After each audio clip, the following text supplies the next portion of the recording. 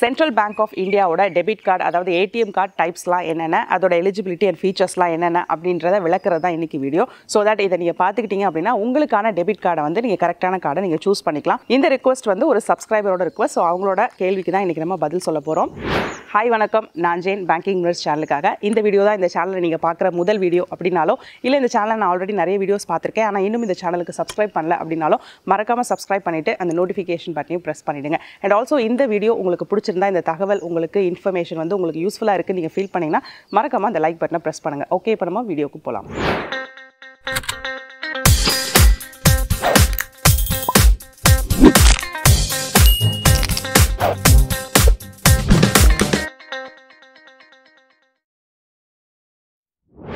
So central bank of இந்தியாவில் வந்து ஒரு சில டைப்ஸான டெபிட் கார்ட்ஸ் வந்து இஷ்யூ பண்ணுறாங்க இப்போ நான் ஷேர் பண்ண போகிற இன்ஃபர்மேஷன் வந்து பார்த்தீங்கன்னா மேக்ஸிமம் அந்த கார்டோட ஃபீச்சர்ஸ் அண்ட் எலிஜிபிலிட்டி தான் ஷேர் பண்ண முடியும்.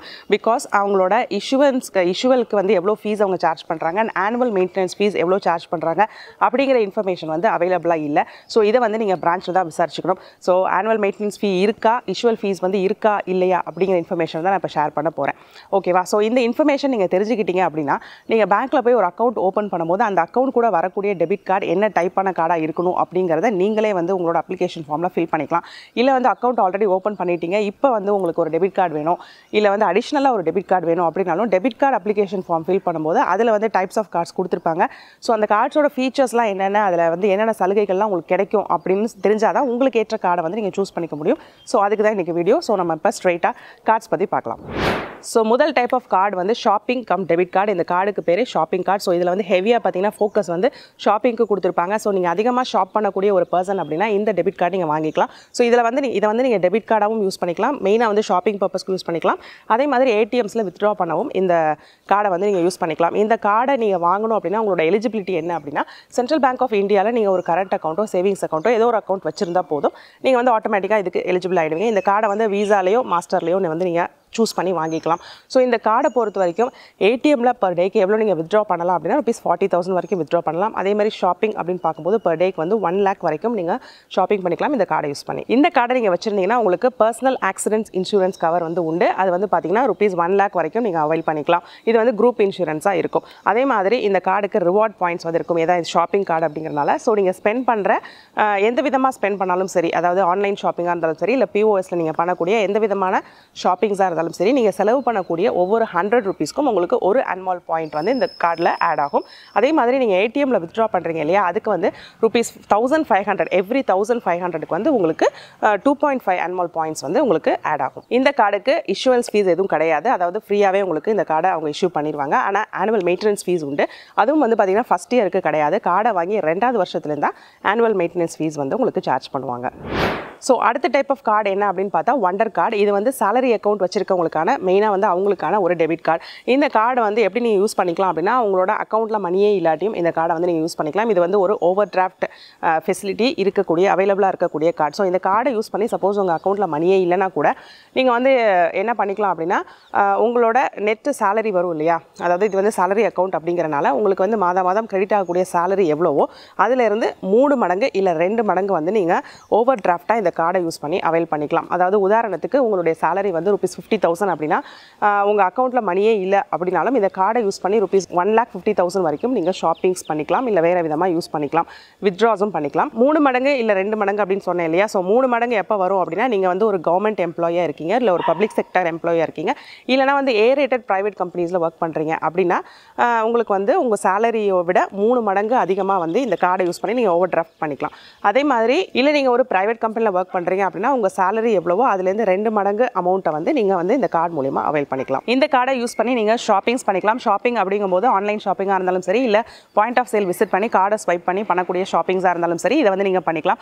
அதே மாதிரி பார்த்தீங்கன்னா பில் பேமெண்ட்ஸ் பண்ணிக்கலாம். டிக்கெட் புக்கிங்ஸ் வந்து எல்லாமே வந்து இந்த மாதிரி விஷயங்கள் இந்த கார்டை யூஸ் பண்ணி பண்ணிக்கலாம். ஸோ இந்த கார்டை பொறுத்த வரைக்கும் நீங்கள் டெய்லி ஏடிஎம்ல எவ்வளோ வித்ட்ரா பண்ணலாம் அப்படின்னா ருபீஸ் ஃபிஃப்டி தௌசண்ட் வரைக்கும் வித்ட்ரா பண்ணிக்கலாம். அதே மாதிரி பாயிண்ட் ஆஃப் சேல்லையோ இல்லை இ காமர்ஸ் அதாவது ஆன்லைன் ஷாப்பிங்லேயோ வந்து பர் டேக்கு ருபீஸ் ஃபிஃப்டி தௌசண்ட் வரைக்கும் நீங்கள் ஷாப்பிங் பண்ணிக்கலாம். ஸோ இந்த கார்டில் நான் வந்து ஓவர் டிராஃப்ட் ஃபெசிலிட்டி அவைலபிளாக இருக்குன்னு சொன்னேன் இல்லையா? ஸோ நீங்கள் ஓவர் டிராஃப்டாக எவ்வளோ அமௌண்ட் யூஸ் பண்ணுறீங்களோ அந்த அமௌண்ட்டுக்கு இன்ட்ரெஸ்ட் வந்து அப்ளை ஆகும். இந்த கார்டுக்கும் பர்சனல் ஆக்சிடென்ட் இன்சூரன்ஸ் கவர் வந்து கிடைக்கும். ருபீஸ் ஒன் லேக் வரைக்கும் உங்களுக்கு கிடைக்கும். குரூப் இன்சூரன்ஸாக இது வந்து உங்களுக்கு கிடைக்கும். அதே மாதிரி அன்மால் பாயிண்ட்ஸ் அதாவது ரிவார்ட் பாயிண்ட்ஸும் வந்து கிடைக்கும். நீங்கள் ஸ்பெண்ட் பண்ணக்கூடிய அதாவது ஷாப்பிங்லையோ இல்லை ஆன்லைன் டிரான்சாக்ஷன்ஸ் ஆன்லைன் ஷாப்பிங்லையோ இல்லை பாயிண்ட் ஆஃப் சேலையோ நீங்கள் ஷாப் பண்ணக்கூடிய எவ்ரி ஹண்ட்ரட் ருபீஸ்க்கு உங்களுக்கு ஒன் ருபி வந்து அன்மால் பாயிண்ட்டாக கவர் ஆகும்.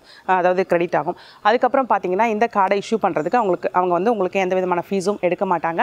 ஆனால் வந்து ஆனுவல் மெயின்டெனன்ஸ் ஃபீஸ் உண்டு. அதுவும் வந்து செகண்ட் இயர்லேருந்து தான் அப்ளை ஆகும். அடுத்தது வந்து பார்த்தீங்கன்னா கிளாசிக் ரூபே கார்டு இது வந்து ஒரு ஸ்டாண்டர்டான ரூபே கார்டு அதாவது நம்ம வழக்கமாக பார்க்கக்கூடிய ரூபே கார்டு ஸோ இந்த கார்டு வந்து ரூபே கார்டு அப்படிங்கிறனால இது வந்து டொமஸ்டிக் யூஸ்க்கு மட்டும் தான் இன்டர்நேஷனல் யூஸ்க்கு நீங்கள் யூஸ் பண்ண முடியாது. அதாவது இந்தியாக்குள்ளே வந்து நீங்கள் ஷாப்பிங்ஸ் பண்ணிக்கலாம். இல்லை அதாவது ஆன்லைன் ஷாப்பிங்கோ இல்லை பாயிண்ட் ஆஃப் சேல்லையோ நீங்கள் வந்து ஷாப்பிங்ஸ் பண்ணிக்கலாம். ஸோ இந்த கார்டை யூஸ் பண்ணி நீங்கள் வந்து ஷாப்பிங் எவ்வளோ பண்ணலாம் பர் டேக்கு அப்படின்னா ருபீஸ் ஒன் லேக் வரைக்கும் பர் டேக்கு நீங்கள் ஷாப்பிங் பண்ணலாம். அது ஷாப்பிங் அப்படிங்கும்போது point of sale and e commerce ரெண்டுமே அக்கௌண்ட் ஆகும். அடுத்தது வந்து ஏடிஎம்ஸில் வந்து பர் டே வந்து ருபீஸ் ஃபார்ட்டி தௌசண்ட் வரைக்கும் நீங்கள் வித்ட்ரா பண்ணிக்கலாம்.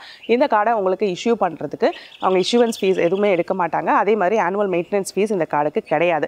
இந்த கார்டை நீங்கள் வாங்கிக்கணும் அப்படின்னா உங்களுக்கு இருக்கக்கூடிய தேவைப்படக்கூடிய ஒரே ஒரு எலிஜிபிலிட்டி வந்து நீங்கள் ஏதாவது ஒரு அக்கௌண்ட் வந்து சென்ட்ரல் பேங்க் ஆஃப் இந்தியாவில் வச்சிருக்கணும் அவ்வளோதான் ஸோ இந்த கார்டை வந்து நீங்கள் ஸ்டாண்டர்டாக அக்கௌண்ட் ஓப்பன் பண்ணும்போது உங்களுக்கான ஸ்டாண்டர்ட் டெபிட் கார்டை இந்த கார்டை நீங்கள் வாங்கிக்கலாம். இல்லைனா ஏற்கனவே இன்னொரு கார்டு வச்சிருக்கீங்க அப்படின்னாலும் இதை வந்து அடிஷ்னல் கார்டாக வாங்கிக்கலாம். இல்லைனா ஏற்கனவே வச்சிருக்க கார்டுலேருந்து நான் வந்து ரூபே கார்டுக்கு அப்கிரேட் ஆகிக்கிறேன் அப்படின்னாலும் அந்த ஆப்ஷனும் அவைலபிளாக இருக்குது அடுத்த கார்டு வந்து பார்த்தீங்கன்னா பிளாட்டினம் டெபிட் கார்டு இது வந்து என்னென்னா ஹை நெட்ஒர்த் இண்டிவிஜுவலாக நீங்கள் இருக்கீங்க. உங்களோட நெட்ஒர்த் வந்து கொஞ்சம் ஹை நீங்கள் வந்து நிறைய டிரான்சாக்ஷன்ஸ் பண்ணுவீங்க. உங்களோட சொத்துக்கள் எல்லாம் அதிகமாக இருக்குது அப்படின்னா அந்த மாதிரி இண்டிவிஜுவல் நீங்கன்னா உங்களுக்கான கார்டு தான் இந்த பிளாட்டினம் டெபிட் கார்டு இது பிளாட்டினம் கார்டு அப்படிங்கிறனால இதோட ஃபீச்சர்ஸ் அதாவது இது இதுக்கு கொடுக்கக்கூடிய பெனிஃபிட்ஸ்லாம் வந்து கொஞ்சம் அதிகமாக இருக்கும். அதை பற்றி நான் சொல்கிறேன் ஸோ இந்த கார்டை யூஸ் பண்ணி ஏடிஎம்மில் வந்து பர் டேக்கு வந்து ருபீஸ் ஒன் லேக் வரைக்கும் நீங்கள் வித்ட்ரா பண்ணிக்கலாம். அதே மாதிரி ஷாப்பிங் வந்து பர் டேக்கு ருபீஸ் டூ லேக்ஸ் வரைக்கும் நீங்கள் ஷாப்பிங் பண்ணிக்கலாம். ஸோ இந்த இந்த அமௌண்ட் அமௌண்ட்லாம் பார்த்தீங்கன்னா மற்ற கார்டை வந்து இது ரொம்பவே அதிகமாக இருக்கும். அதாவது இந்த டெய்லி அலவன்ஸ் அது மட்டும் இல்லாமல் இந்த ஃபீச்சர்ஸை பற்றி இப்போ நான் சொல்கிறேன் ஸோ ஃபீச்சர்ஸ் அப்படின்னு பார்த்தீங்கன்னா ஃபியூவல் சர்ச்சார்ஜில் வந்து ஜீ ஜீரோ ஃபியூவல் சர்ச்சார்ஜ் சர்ச்சார்ஜ் வந்து அப்ளை ஆகும். அதே மாதிரி zero liability protection personal air accident cover வந்து இதில் அப்ளை ஆகும். அதே மாதிரி ரிவார்ட் பாயிண்ட்ஸ் வந்து பார்த்தீங்கன்னா மற்ற கார்ட்ஸை விட இதில் வந்து அதிகமாக இருக்கும். ஸோ எப்படி அப்படின்னு பார்த்தா ஸோ ஜீரோ ஃபியூவல் சர்ச்சார்ஜ் அப்படிங்கிறது இந்த கார்டை யூஸ் பண்ணி நீங்கள் பெட்ரோல் பம்பில் வந்து ஃபியூவல் வந்து ரீசார்ஜ் பண்ணீங்க அப்படின்னா அதுக்கான சர்ச்சார்ஜ் வந்து வெய்வ் பண்ணிடுவாங்க அதாவது ஃபோர் ஹண்ட்ரட்லேருந்து ஃபோர் தௌசண்ட் வரைக்கும் ஃபியூவல் சர்ச்சார்ஜ் வருதுன்னா அந்த அமௌண்ட் வந்து வெய்வ் ஆகிடும் உங்களுக்கு அது சார்ஜ் பண்ண மாட்டாங்க. அதே மாதிரி ஷாப்பிங்கில் வந்து ரிவார்ட் பாயிண்ட்ஸ் உங்களுக்கு கிடைக்கும். எவ்வளோ அப்படின்னா எவ்ரி ஒன் ஹண்ட்ரட் ருபீஸ்க்கு வந்து ஒன் பாயிண்ட் ஃபைவ் அன்மால் ரிவார்ட் பாயிண்ட்ஸ் வந்து கிடைக்கும். இது வந்து மற்ற மற்ற கார்ட்ஸை விட இந்த பாயிண்ட்ஸ் வந்து அதிகம் அப்படிங்கிறத நீங்கள் நோட் பண்ணிக்கோங்க. அடுத்தது பார்த்தீங்க அப்படின்னா இந்த கார்டை யூஸ் பண்ணி நீங்கள் ஷாப்பிங் பண்ணிக்கலாம். மட்டும் அது மட்டும் இல்லாமல் bill payments and movie tickets வந்து புக் பண்ணிக்கலாம். இந்த கார்டு வந்து ஒரு இன்டர்நேஷனல் கார்டும் கூட இது பிளாட்டினம் கார்டு அப்படிங்கிறனால நீங்கள் இன்டர்நேஷனல் கார்டும் கூட ஸோ நீங்கள் அவுட் ஆஃப் இந்தியாவும் இதை யூஸ் பண்ணிக்கலாம். அதே மாதிரி இது பிளாட்டினம் கார்டு அப்படிங்கிறனால ஏர்போர்ட் லாஞ்சில் வந்து நீங்கள் சில ஃபெசிலிட்டிஸை அவைல் பண்ணிக்கக்கூடிய வாய்ப்புகள் வந்து இந்த கார்டு மூலயமா உங்களுக்கு கிடைக்கும். இந்த கார்டுக்கு இஷ்யூவன்ஸ் ஃபீஸும் உண்டு ஆனுவல் மெயின்டெனன்ஸ் சார்ஜும் உண்டு. அடுத்தது வந்து நெக்ஸ்ட் ஜென் டெபிட் கார்டு இது வந்து ஒரு மைனர்ஸ்க்கான டெபிட் கார்டு ஸோ வந்து நீங்கள் ஒரு மைனர் அக்கௌண்ட் வச்சிருக்கீங்க சென்ட்ரல் பேங்க் ஆஃப் இந்தியாவில் அப்படின்னா அது அந்த கார்டுக்கு வந்து எலிஜிபிள் ஆவீங்க. அதுவும் வந்து நீங்கள் பத்து வயசுலேருந்து பதினெட்டு வயசு வரைக்கும் உள்ள ஒரு பர்சனாக இருக்கீங்க அப்படின்னா இந்த கார்டை வந்து நீங்கள் அப்ளை பண்ணி வாங்கிக்கலாம். இந்த கார்டை வந்து நீங்கள் உங்களோட மைனர் அக்கௌண்ட்கான கார்டாகவும் வாங்கிக்கலாம். இல்லைனா வந்து ஏற்கனவே ஒரு கார்டு வச்சிருக்கீங்க அப்படின்னா இதை வந்து ஒரு ஆட் ஆன் டெபிட் கார்டாகவும் நீங்கள் வாங்கிக்கலாம். இந்த கார்டோட டெய்லி வித்ட்ரா லிமிட் வந்து ருபீஸ் ஃபைவ் தௌசண்ட் அதே மாதிரி இந்த கார்டை யூஸ் பண்ணி ஷாப்பிங் அதாவது ஆன்லைன் ஷாப்பிங்காக இருந்தாலும் சரி பாயிண்ட் ஆஃப் சேல் ஷாப்பிங்காக இருந்தாலும் சரி ஒரு நாளைக்கு வந்து ருபீஸ் ஃபைவ் தௌசண்ட் வரைக்கும் நீங்கள் அவைல் பண்ணி ஷாப் பண்ணிக்கலாம். ஸோ இந்த கார்டில் வந்து பார்த்தீங்கன்னா எப்பயும் நான் மற்ற கார்டில் நான் சொன்ன மாதிரியே வந்து நீங்கள் ஷாப்பிங்ஸும் பண்ணிக்கலாம். பில் பேமெண்ட்ஸ் பண்ணிக்கலாம் டிக்கெட் புக்கிங் பண்ணிக்கலாம். ஸோ இந்த கார்டை அவங்க இஷ்யூ பண்ணுறதுக்கு வந்து பார்த்தீங்கன்னா உங்களுக்கு இஷ்யூன்ஸ் ஃபீஸும் பிடிக்க மாட்டாங்க மெயின்டெனன்ஸ் ஃபீஸும் கிடையாது. அதே மாதிரி நீங்கள் ஸ்பெண்ட் பண்ணக்கூடிய எவ்ரி ஹண்ட்ரட் ருபீஸுக்கு ஒரு ரிவார்ட் பாயிண்ட் வந்து உங்களுக்கு கிரெடிட் ஆகும். அடுத்தது last type of debit card என்ன அப்படின்னா platinum RuPay card RuPay card அப்படின்னாலே வந்து வழக்கமாக அது வந்து டொமஸ்டிக் கார்டாக தான் இருக்கும். இந்தியாக்குள்ளே தான் யூஸ் பண்ண முடியும். ஆனால் இந்த பிளாட்டினம் ரூபே கார்டு வந்து ஒரு இன்டர்நேஷனல் கார்டு ஸோ நீங்கள் இந்தியாவுக்கு வெளியிலையும் இதை யூஸ் பண்ணிக்கலாம். இந்த கார்டு வந்து ஒரு பிளாட்டினம் கார்டாக இருக்கிறனால இதோட ஃபீச்சர்ஸ் அண்ட் பெனிஃபிட்ஸ்லாம் வந்து கொஞ்சம் ஹை லெவலில் இருக்கும். ஃபார் எக்ஸாம்பிள் இந்த கார்டை யூஸ் பண்ணி ஏடிஎம்ல வந்து பர் டே நீங்கள் ஒன் லேக் வரைக்கும் வித்ட்ரா பண்ணிக்கலாம். அதே மாதிரி shoppings POS and online shoppings வந்து ஒரு நாளைக்கு டூ லேக்ஸ் வரைக்கும் அவைல் பண்ணிக்கலாம். ஸோ இந்த கார்டை பொறுத்த வரைக்கும் உங்களுக்கு இன்சூரன்ஸ் வந்து உண்டு. ஸோ பர்சனல் ஆக்சிடென்ட் இன்சூரன்ஸ் உண்டு. ஸோ ஆக்சிடென்ட்டில் வந்து டெத் ஆர் பர்மனன்ட் டிசபிலிட்டி ஆயிடுச்சு அப்படின்னா ருபீஸ் டூ லேக்ஸ் வரைக்கும் நீங்கள் வந்து இன்சூரன்ஸ் அவை அவைல் பண்ணிக்க முடியும். இந்த கார்டு வச்சுருந்தீங்க அப்படின்னா அதே மாதிரி ஏர் ஆக்சிடென்ட்டுக்கு வந்து பார்த்தீங்கன்னா டெத்துக்கு ருபீஸ் எயிட் லேக்ஸ் வரைக்கும் இந்த இந்த கார்டு வச்சுருந்தீங்க அப்படின்னா உங்களுக்கு இன்சூரன்ஸ் கவர் ஆகும். அதே மாதிரி இந்த கார்டை நீங்கள் யூஸ் பண்ணி ஸ்பெண்ட் பண்ணக்கூடிய மணிக்கு உங்களுக்கு கிரெடிட் ஆகக்கூடிய ரிவார்ட் பாயிண்ட்ஸ் வந்து மற்ற கார்டை காட்டிலும் அதிகம். ஸோ நீங்கள் ஸ்பெண்ட் பண்ணக்கூடிய எவ்ரி ஹண்ட்ரட் ருபீஸ்க்கு one point five reward points வந்து உங்களுக்கு கிரெடிட் ஆகும். அதே மாதிரி ஏடிஎம்ல வித்ட்ரா பண்ணக்கூடிய every one thousand five hundred ருபீஸ்க்கு two point five reward points வந்து உங்களுக்கு கிரெடிட் ஆகும். அதே மாதிரி இது ஒரு பிளாட்டினம் கார்டு அப்படிங்கிறனால கேஷ்பேக் ஆஃபர்ஸ் வந்து இதில் நிறையவே கிடைக்கும். ஸோ யூட்டிலிட்டி கேஷ்பேக் அதாவது நீங்கள் யூட்டிலிட்டி பில்ஸ் வந்து பே பண்ணுறீங்க அப்படின்னா ஃபைவ் பர்சன்ட் கேஷ்பேக் வந்து உங்களுக்கு கன்ஃபார்மாக கிடைக்கும். அதாவது மேக்ஸிமம் ஃபிஃப்டி ருபீஸ் வரைக்கும் ஃபைவ் பர்சன்ட் கேஷ்பேக் கிடைக்கும். அதே மாதிரி ஃபியூவல் சர்சார்ஜ் பண்ணும்போது ஒன் பர்சன்ட் வந்து கேஷ்பேக் உங்களுக்கு கிடைக்கும். அடுத்தது ஐஆர்சிடிசியில் நீங்கள் ட்ரெயின் டிக்கெட் புக் பண்ணும்போது ருபீஸ் டுவெண்ட்டி ஃபைவ் வந்து உங்களுக்கு டிஸ்கவுண்ட் வந்து இதில் கிடைக்கும்.